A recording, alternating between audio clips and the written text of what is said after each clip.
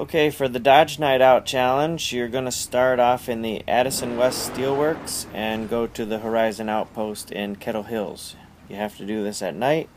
So, like before, you're going to want to start in an early evening. You can go to Carson or Festival to drive up there. Um, then you just follow this road and this little hairpin turn right out to the pretty much a straight shot down after you get out here.